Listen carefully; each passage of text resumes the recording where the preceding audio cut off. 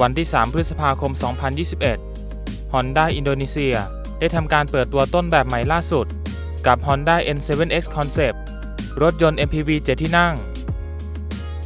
ซึ่งก่อนหน้านี้มีการเผย teaser ออกมา 2 ภาพ มีการคาดการณ์ว่าจะเป็น All New Honda BRV โฉมใหม่ โดย N7X คันนี้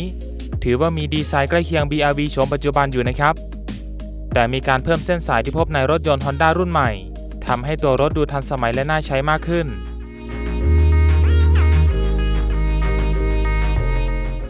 การดีไซน์ของ Honda N7X ด้านหน้ามี DNA จาก All New Honda HR-V โฉมใหม่ จะเห็นได้จากกระจังหน้าและไฟหน้า พร้อมใช้ไฟส่องสว่างแบบ LED ทั้งหมด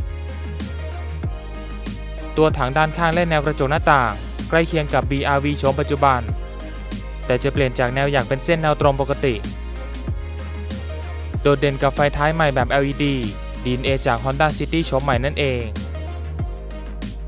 ส่วนภายในเผยภาพออกมาไม่มากนักนะครับ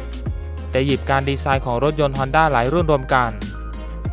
ตอนนี้ทาง Honda ยังไม่เผยข้อมูลอะไรออกมามากนัก ก็หวังว่าหากเป็นเวอร์ชั่นผลิตขายจริงแล้ว คนไทยจะได้สัมผัสและจับจองเป็นเจ้าของนะครับ